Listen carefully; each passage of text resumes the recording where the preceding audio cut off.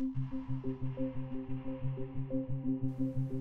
everyone, my name is Anna Helmig and I am the Collections Manager and Registrar here at the Boonshoft Museum of Discovery in Dayton, Ohio. And today I'm here in our Anthropology Vault to talk a little bit about our most beloved resident in our anthropology collection, and that is Nesiur, Dayton's very own ancient Egyptian mummy. Now, over the years, Nesiur has become a beloved staple at the museum, and visitors of all ages have learned so much about ancient Egypt through Nesiur. But have you ever wondered what life was like in ancient Egypt for Nesiur? Well, you are in luck because today we are going to look at a few artifacts from Egypt and talk a little bit about what life was like for Nesiur as a young woman growing up during the 25th dynasty of Egypt. So before I show you these collections objects from ancient Egypt, I'm going to talk a little bit about what we do know about Nesiur. We know Nesiur's name because it's inscribed on her sarcophagus, which is just a fancy word for a coffin.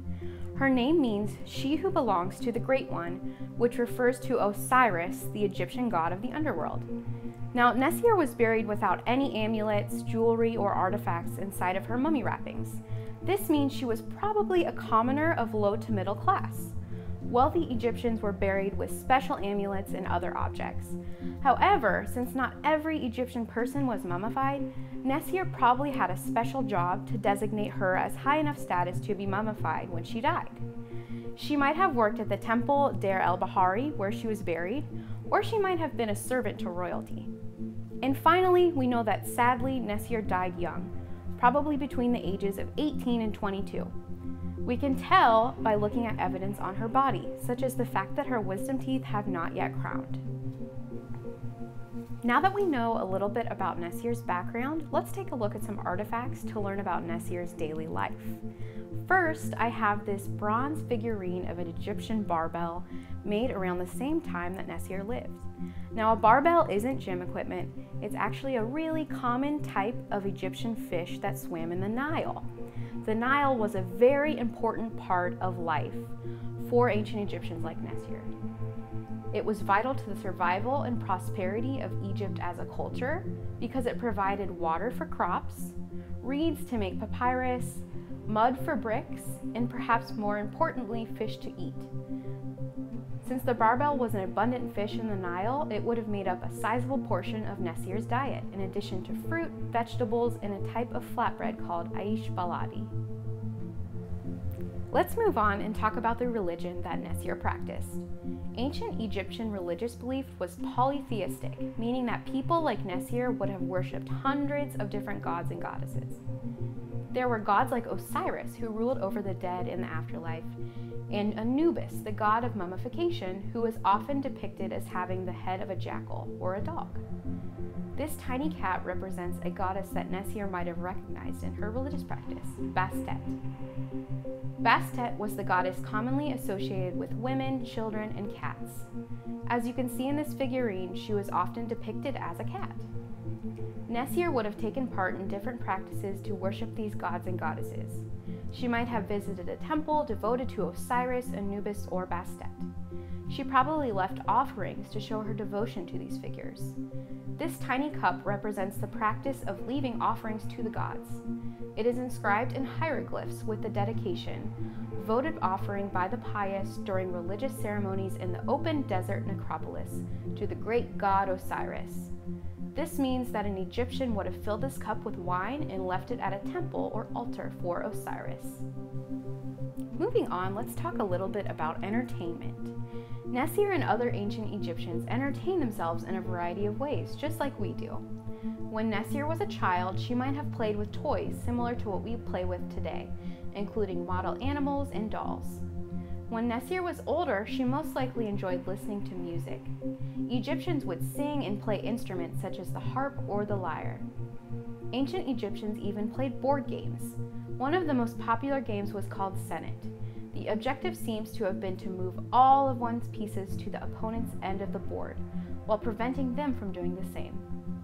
These pieces from our anthropology collection are actual gaming pieces from ancient Egypt, made out of ivory. They were made around 332 BC and were likely used to play Senet or other games. Next, let's talk about marriage and family life.